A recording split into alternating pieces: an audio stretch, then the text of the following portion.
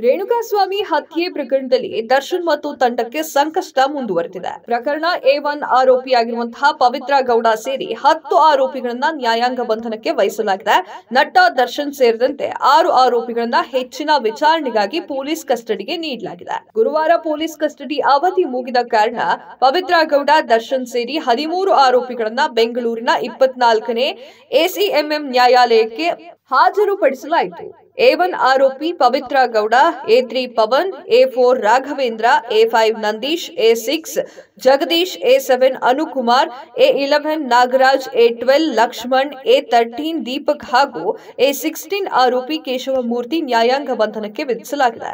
ಈ ಹಿನ್ನೆಲೆ ಈ ಎಲ್ಲಾ ಆರೋಪಿಗಳನ್ನ ಪರಪ್ಪನ ಅಗ್ರಹಾರದ ಜೈಲಿಗೆ ಶಿಫ್ಟ್ ಮಾಡಲಾಗಿದೆ.